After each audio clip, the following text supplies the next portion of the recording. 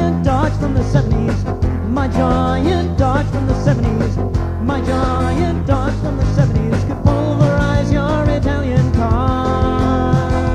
Me and a bunch of guys, we like to crawl inside my Dodge and then we lean out of the window and we yell at all the women who happen to walk by.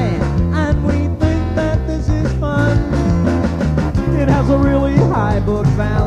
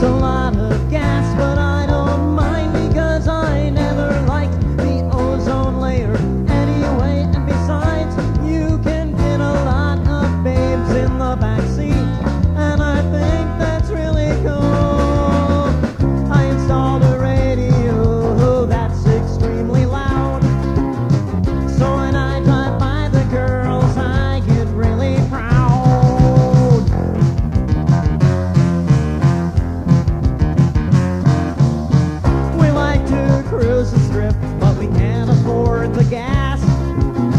Pour a fifth of vodka in the tank, and there's no car we can't pass. My giant dodge from the 70s. My giant dodge from the 70s. My giant dodge.